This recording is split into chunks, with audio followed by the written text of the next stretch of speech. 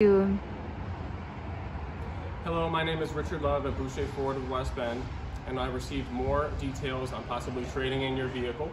So if you want to set up some time to bring it inside so we can see it in person, we're making cash offers on our on used cars.